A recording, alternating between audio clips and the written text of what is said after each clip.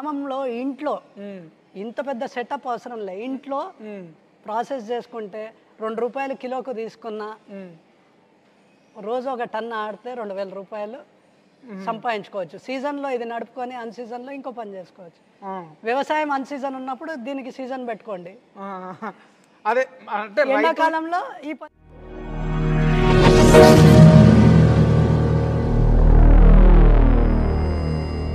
నమస్తే నా పేరు మల్లేష్ మీరు చూస్తున్నారు మల్లేష్ ఎడ్ల యూట్యూబ్ ఛానల్.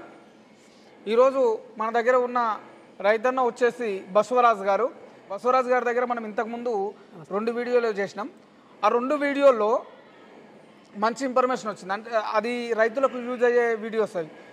ఇది కూడా mini rice mill. Mini rice mill అంటే ఇప్పుడు ఫర్ ఎగ్జాంపుల్ ఒక కింటాలో రెండు కింటాలో మూడు కింటాలో పండించుకున్న రైతు ఆ ట్రాక్టర్ను తీసి దాన్ని పెట్టుకొని పోయి మనము పెద్ద రైస్ మిల్ వేయాలంటే కొంచెం ఇబ్బందికరమైన విషయం. అట్లా కాకుండా దీన్ని మనకు ఆ మొబైల్ రైస్ మిల్గా కూడా దీన్ని మనం యూజ్ చేసుకోవచ్చు ఈ మినీ రైస్ మిల్ను దీని గురించి మనం పూర్తి డీటెయిల్స్ మనము బసవరాజు గారి ద్వారా తెలుసుకునే ప్రయత్నం చేద్దాం. నమస్తే సార్. నమస్తే అండి. సార్ ఇంతకుముందు మనకు రెండు వీడియోల్లో మంచి ఇన్ఫర్మేషన్ వచ్చింది. ఈ వీడియోలో సార్ ఈ మినీ రైస్ మిల్ అనేది ఒక రైతుకు ఖచ్చితంగా అవసరం అంటారా? ఇప్పుడు ఒక ఊర్లో రైస్ మిల్ పెట్టాలి one ton two ton rice mill పెట్టాలంటే అరవై నుంచి డెబ్బై లక్షలు ఖర్చు అవుతుంది ఓన్లీ మిషనరీకి. ఓకే.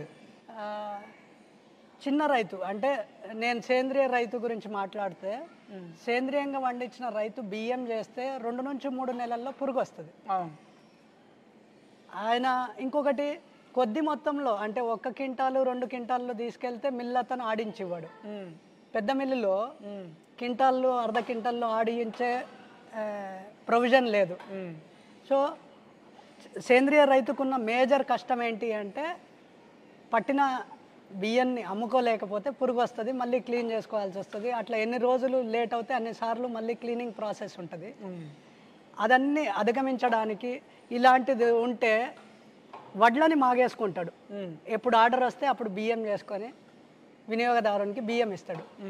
అంటే ఈ రోజు బియ్యం ఇస్తే రెండు నెలల లోపు అయిపోయేంత బియ్యాన్ని మనం ఇవ్వగలిగితే కన్జ్యూమర్కి ఇవ్వగలిగితే వినియోగదారునికి ఇస్తే ఆ రెండు నెలల్లో మనం ఇచ్చిన బియ్యం అయిపోతాయి పురుగు సమస్య ఉండదు. ఉండదు.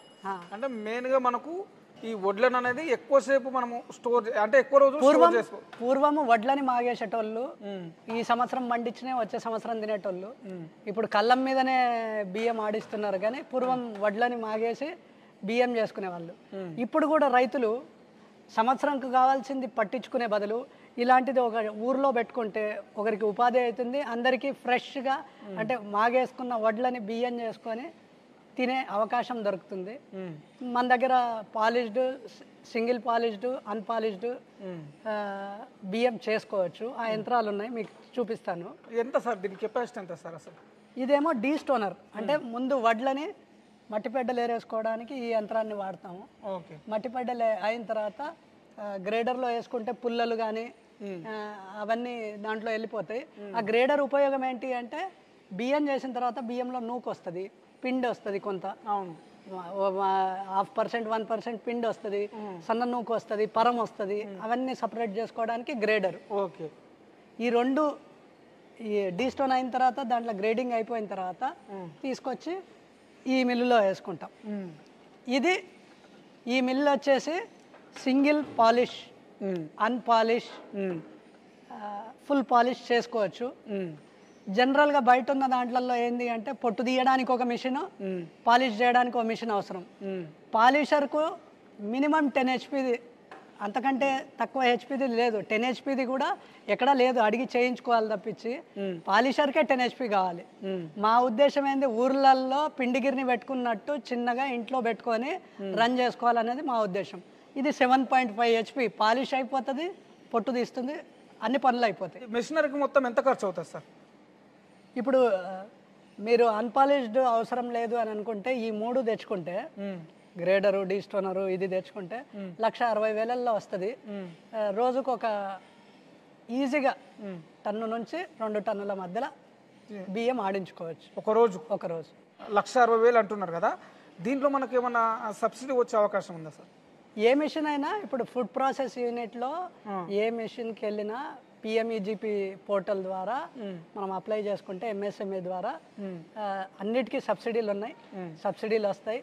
ఆ, ఇక్కడ బ్యూటీ ఏంటంటే మీరు ఇరవై కిలోలు పది కిలోలు తెచ్చినా మేము ప్రాసెస్ చేసి ఇవ్వగలుగుతాం ఇరవై కిలోలు పది అంటే ఇప్పుడు ఒక రైతు ఒకవేళ యాభై కిలోలు వంద కిలోలు తెచ్చినా అతను అవసరానికి మీరు ప్రాసెస్ చేసి ఇవ్వగలుగుతారు. ఐదు కిలోలు తెచ్చినా ప్రాసెస్ చేయగలుగుతాం ఇప్పుడు దీనివల్ల సార్ మనకు ఆ- మిషన్కి ఈ మిషన్కి ఇప్పుడు పెద్ద మిషన్ ఉంది కదా మనకు దానికి దీనికి తేడా ఏంటి సార్? అంటే ఓన్లీ సైజుల తేడానా లేకపోతే ఎట్లా ఇది? సైజు ఒక్కటే కాదు. ఇప్పుడు దానికి కావాల్సింది వంద పైన హెచ్పి ఉండాలి. ట్రాన్స్ఫరం ఉండాలి. ఆ, మిషనరీ డబ్బులు అవన్నీ లక్షల్లో కూడుకున్న కూడుకున్న వ్యవస్థ అది. అవును. గ్రామాల్లో టెన్ హెచ్పి లోపు అని నేను ప్రతిసారి ఎందుకు చెప్తున్నా అంటే టెన్ హెచ్పి లోపు కరెంట్ తీసుకుంటే మీకు వైర్ గుంజితే ఎంత ఖర్చు అవుతుందో అంత ఖర్చులో కరెంట్ వచ్చేస్తుంది. ఆ కరెంట్ వచ్చిన తర్వాత మినిమం డీడీ అమౌంట్ ఏదో ఉంటుంది. ఆరు వేలు పదివేలు డీడీ అమౌంట్ ఉంటుంది. అది కట్టేస్తే మీకు కరెంట్ కనెక్షన్ వచ్చేస్తుంది. ఓకే. ఆ కరెంట్ కనెక్షన్తో గ్రామంలో ఇంట్లో ఇంత పెద్ద సెటప్ అవసరం లే. ఇంట్లో ప్రాసెస్ చేసుకుంటే రెండు రూపాయలు కిలోకు తీసుకున్న రోజు ఒక టన్ ఆడితే రెండు వేల రూపాయలు సంపాదించుకోవచ్చు. సీజన్లో ఇది నడుపుకొని అన్ సీజన్లో ఇంకో పని చేసుకోవచ్చు. వ్యవసాయం అన్ సీజన్ ఉన్నప్పుడు దీనికి సీజన్ పెట్టుకోండి. అదే అంటే ఎండాకాలంలో ఈ పని చేయండి. ఒక రకంగా లాభ లాభదాయకమే. రైతు బియ్యంగా అమ్ముకుంటే ఇంకో రెండు రూపాయలు ఎక్కువ వస్తాయి. వడ్లుగా అమ్ముకునే దానికంటే బియ్యంగా అమ్ముకుంటే రెండు రూపాయలు ఎక్కువ సంపాదిస్తాడు.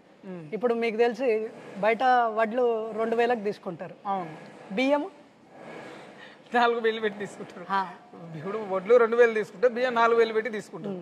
అంటే వందకు వంద బియ్యం రావు. ప్రాసెస్ చేసినా అది చేసినా ఆయనకు ఐదు నుంచి పది రూపాయలు కిలో మీద ఎక్కువ లాభం వస్తుంది. అంటే సార్ దీంట్లో మనకి ఈ పొట్టు తౌడు లాంటివి ఏమో ఉండవా? తౌడు వస్తుంది. మీరు ఒక ఇరవై టన్నులు ఈ మిషన్ ఒక ఇరవై టన్నులు ఆడినరు అనుకోండి తౌడుతోనే ఈ మిషన్ డబ్బులు వెళ్ళిపోతాయి. తౌడుతోనే. ఈ మిషన్ డబ్బులు వెళ్ళిపోతాయి. మనం ఆర్గానిక్ చేస్తున్నాము.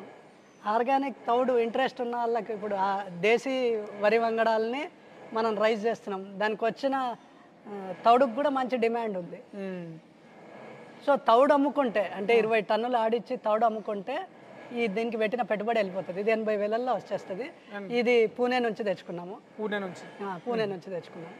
అవి మదురై నుంచి తెచ్చుకున్నాం ఆ రెండు. అంటే మీరు అన్ని ఒక దగ్గర దొరకవా సార్? నేను అంటే ఫస్ట్ అది తెచ్చుకున్నాను తర్వాత ఇది తెచ్చుకున్నాను. ఇప్పుడు నన్ను నెక్స్ట్ అడిగితే ఆ రెండు కలిపి ఒకటి ఉన్నది ఉంది. అది నేను డెబ్బై వేలు ఎనభై వేలు పెట్టి వేరు వేరుగా తెచ్చుకున్నాను. ఎనభై వేలల్లో రెండు కలిసి ఉన్నది ఉంది. అది అది తర్వాత తెలిసింది. అది నేను ఇది పెట్టిన తర్వాత తెలిసింది. కనుక ఇప్పుడు అడిగిన వాళ్ళకు అది పెట్టుకోమని చెప్తాను. అది వన్ వన్ హెచ్పి ఇది సెవెన్ పాయింట్ ఫైవ్ హెచ్పి అంటే టెన్ హెచ్పి కరెంట్ తీసుకుంటే ఇవన్నీ రన్ అవుతాయి. రన్ అవుతాయి. ఓకే. అయితే మీరు ఇంకోటి మేము ఇంకో బియ్యం చేయడానికి అది ఇది యాక్చువల్గా సిరిధాన్యాల మిషన్ సిరిధాన్యాలని బియ్యం చేయడానికి తీసుకున్న మిషన్ దీంట్లో బియ్యం కూడా మీరు వడ్లని కూడా బియ్యం చేయొచ్చు కానీ దీంట్లో పాలిష్ రాదు. అన్పాలిష్డ్ వస్తుంది. ఎర్ర బియ్యం వేస్తే ఎర్రగా వస్తాయి నల్ల బియ్యం వేస్తే నల్లగా వస్తాయి. పాలిష్ రా పాలిష్ రాదు. ఓకే. అందులో కొంచెం పాలిష్ వస్తుంది. ఇందులో పాలిష్ రాదు. పాలిష్ అన్పాలిష్డ్ రైస్ కావాలన్న వాళ్ళకు ఇందులో ప్రాసెస్ చేసి ఇస్తున్నాం మనం. ఇది మల్టీపర్పస్ అంటే మిల్లెట్స్కి వాడుతున్నాము బియ్యంకు వాడుతున్నాం ఓకే మరి మీకు ఈ ఆలోచన అనేది ఎట్లా వచ్చింది సార్? ఇది పెట్టాలి మినీ రైస్ మిల్ పెట్టాలనే ఆలోచన? మినీ రైస్ మిల్లు చిన్న రైతు అంటే సేంద్రియంగా పండించిన రైతు కష్టాలు నాకు తెలుసు. ఒక ఏడేళ్ళుగా నేను షాప్ నడుపుతున్నాను. ఆ షాప్లో సేంద్రియ రైతుకు ఉండే కష్ట నష్టాలు తెలుసు నేను కూరగాయల వ్యవసాయం చేశాను పళ్ళ వ్యవసాయం చేశాను తర్వాత మిల్లెట్ వ్యవసాయానికి వచ్చాను. ఈ మధ్య క్రమంలో నేను కాల్చుకొని నేర్చుకున్నవన్నీ కూడా రైతులకు లాభం చేయాలన్న ఉద్దేశంతో ఎందుకంటే రైతు ఇప్పుడు ఈ మిషన్ నేను ఫైనలైజ్ చేయడానికి ఇలాంటివి ఎక్కడెక్కడ ఉన్నాయో అక్కడికి వెళ్ళి ఓ ఇరవై ముప్పై వేలు నేను మిషన్లు చూడడానికే ఖర్చు పెట్టుకున్నా. అదే మీరు వెళ్ళి చూడడం చూడడం వల్లనే మీరు నేర్చు తెలుసుకున్నారు తెలుసుకున్నా. లేకపోతే ఇప్పుడు రైతు పెట్టాలనుకున్న కొత్త రైతుకు అవన్నీ తిరగాల్సిన పని లేదు. నా దగ్గరికి రండి చూసుకోండి మీకు అర్థమైంది అనుకోండి తీసుకోండి. అంటే అంత ఖర్చు మీరు ముప్పై వేలు ఎక్కువ పెట్టవలసిన అవసరం లేదు అవసరం లేదు. మీకు అవకాశం ఉంది. రండి చూడండి. ఈ టైంలో లేకున్నది కాబట్టి మీకు ఎక్స్పెండిచర్ అయింది. లేదు ఇంకోటి ఓ రైతు ఇంత ఖర్చు పెట్టలేడు. ఒక రైతుగా ఇంత ఖర్చు పెట్టలేడు. అంటే నష్టాన్ని తట్టుకోలేడు. మేము అన్ని ఎక్స్పెరిమెంట్ చేసి మంచిగా ఉన్న ప్రోడక్ట్ని మీకు చెప్తున్నాం. సో మీరు ఎక్స్పెరిమెంట్ చేయవలసిన అవసరం లేదు. చెయ్యొద్దు అనే చెప్తున్నాను నేను రైతుకు. ఎక్స్పెరిమెంట్ చేయొద్దు. ఎందుకంటే ఆ స్తోమత రైతు దగ్గర లేదు గనక ఆయన డబ్బుల్ని సేవ్ చేసే ప్రయత్నంలో మేము ఈ సమాచారాన్ని ఇస్తున్నాం. ఈ సమాచారం చూసి మీరు రండి తెలుసుకోండి. తెలుసుకున్న తర్వాత మీకు మీ రిక్వైర్మెంట్స్ మీట్ అవుతున్నాయి మీరు అనుకున్న పని జరుగుతుంది అని అనుకుంటే ఇది చేసేసుకోండి. ఇప్పుడు మీకు ఇంకో వీడియోలో చూపించాము ఇసురాళ్ళు ఇప్పుడు ఇక్కడ వచ్చిన నూక. మీరు నూక నూకగా అమ్మితే ఎవరు తీసుకోరు. కానీ ఈ నూకని ఏం చేయండి? మీరు ఆ ఇసురాళ్ళలో రవ్వ చేసుకోండి. ఉప్మా రవ్వ ఇడ్లీ రవ్వ చేయండి. మీ బియ్యం కాస్ట్ కంటే ఎక్కువ కాస్ట్ వస్తుంది. అవును.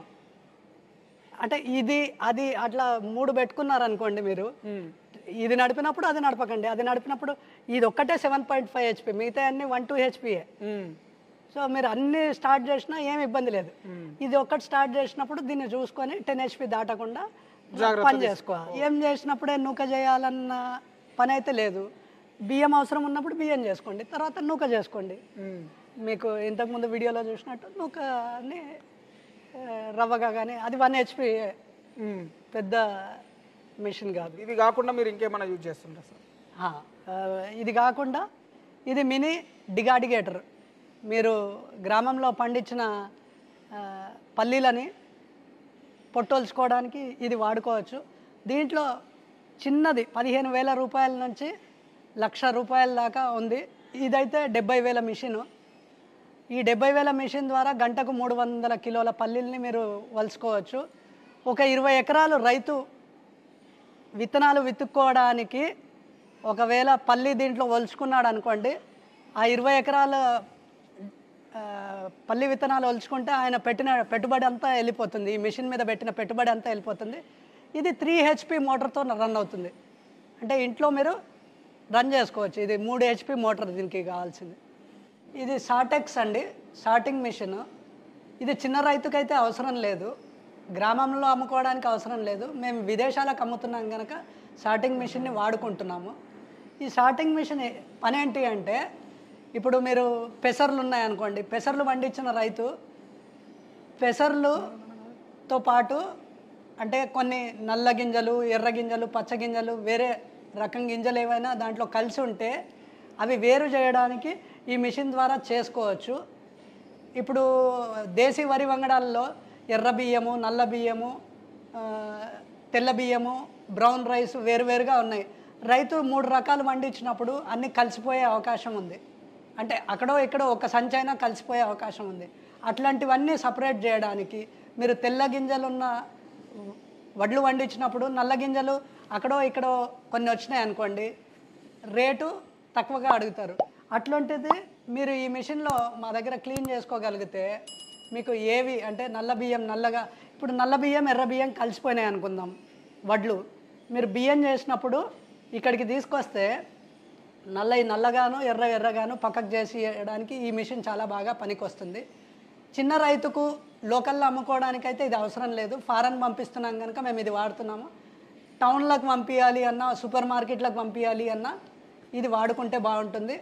ఎవరైనా రైతులు పెసర్లు కానీ మినుములు కానీ కందులు కానీ పండించిన రైతులు రాగులు కానీ పండించిన రైతులు సార్టింగ్ అవసరం అనుకుంటే మా దగ్గరికి రావచ్చు. మీకు జాబ్ వర్క్ చేసి ఇస్తాం. మీరు విన్నారు కదా స్వరాజ్ గారి యొక్క అనుభవాలు. అంటే ఈ మిషన్ గురించి బసవరాజు గారు మీకు పూర్తి స్థాయిలో ఇన్ఫర్మేషన్ అందించారని అనుకుంటున్నాను. మీకు ఏమన్నా డౌట్లు ఉన్నా మీకు ఇంకా ఏమన్నా తెలుసుకోవాలనుకున్నా నేను బసవరాజు గారి నెంబరు నేను డిస్క్రిప్షన్లో ఇస్తాను. మీరు కాల్ చేసి కనుక్కోవచ్చు. దాంతోపాటు మీరు కామెంట్ కూడా చేసే ప్రయత్నం చేయండి. ఇది ఈరోజు video. Thank you. Bye bye